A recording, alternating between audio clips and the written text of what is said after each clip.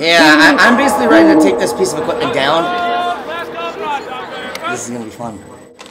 Now let's wait for the customer service person to pick up the phone. I called your supervisor three days ago. She never returned my call.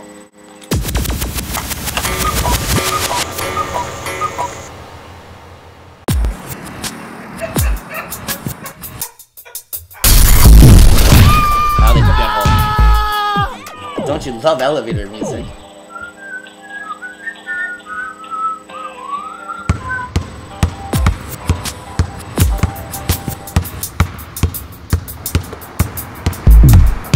Yeah, the supervisor called me when I was on vacation. I tried her calling her two on Monday. She never returned my call. I called her again yesterday. She never returned my call. I called her again Wednesday. She never returned my call.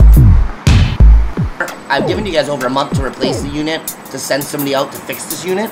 I am so fed up beyond belief. I want to be compensated for this, sir. I am one pissed off customer.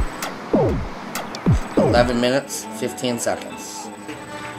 10, 9, 8, 7, 6, 5, 4, 3, 2, 1. The message I left, obviously, when I was away for a week, stated that I was away for a week. So she knew she wasn't going to be able to reach me. I don't know why she personally didn't just try calling uh, the dates that I had listed when I uh, when I landed. Um, and for somebody not to return a message, also when you left a message every single day, it's a little bit ridiculous.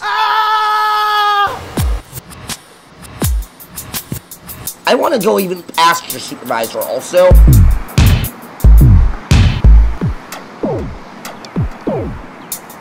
I want the information for your corporate office. I am beyond fed up with this company. After giving you guys a month opportunity to repair a product, replace a product, and still not working, I am one freaking pissed off customer. And I'm trying to be friendly here.